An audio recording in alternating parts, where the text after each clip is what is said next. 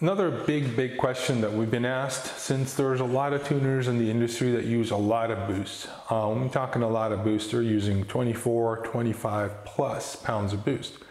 So the stock Raptor makes about 15 to 16 pounds of boost on a factory tune. The 17s have smaller compressors, the 18 plus have larger compressors.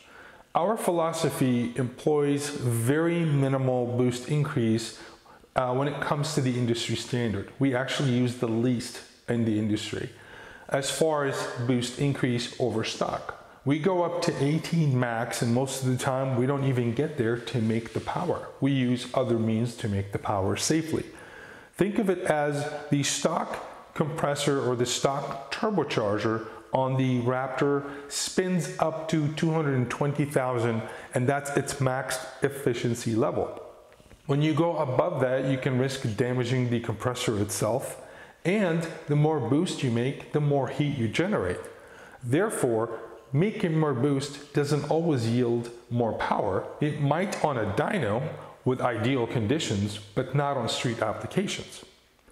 The other thing is, the more heat you make from the turbos, remember the intercooler's job is to circulate the air coming out of the turbochargers and shoots it back in. So if it's hotter, it's going to decrease the efficiency of your intercooler regardless of how big it is. More heat, less timing, less power.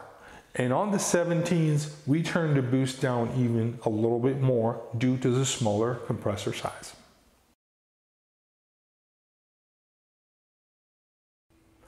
Lastly, we've been asked a lot of questions about the boost tubes. Some people have seen us experiment and test with the new AMS boost tubes. To properly explain the role of boost tubes, we've decided to make a fully dedicated video, not just with the install like you've seen before, but to actually show you on a possible whiteboard, how does the boost tube play a role to increase and make more efficient power.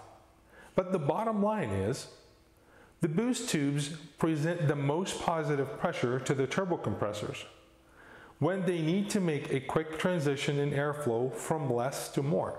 If the turbos have to pull against a vacuum with more restrictive tubes, it will take them longer to achieve their target boost.